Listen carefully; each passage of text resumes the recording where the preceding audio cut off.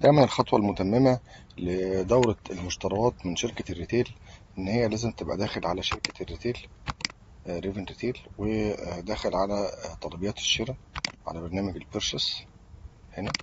ونبدأ نعمل أمر الشراء بتاع الموديل اللي إحنا عايزين نشتريه. إحنا هنشتري الموديل بتاعنا الموديل بتاعنا ده كان من woven كان من woven وكان هنجيبه من Raven Factory من Raven Factory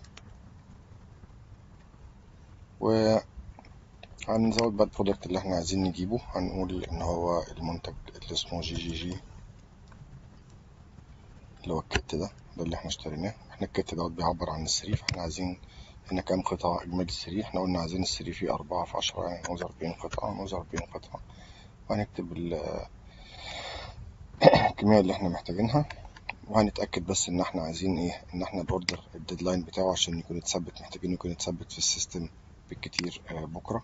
وعشان نستلم المنتج طبقا للخطة اللي موضوعة اللي إحنا بنعمل على ال order ده إن إحنا نستلم ال order في أربعتاشر سبعة هكذا. هنختار ال date وهندوس confirm order وبعدين save أو save وبعدين confirm order كده بنبقى أكدنا أمر الشراء من شركة الريتيل عشان يستقبلوا المصنع تاني يوم وينفذ عليه بقية الشغل.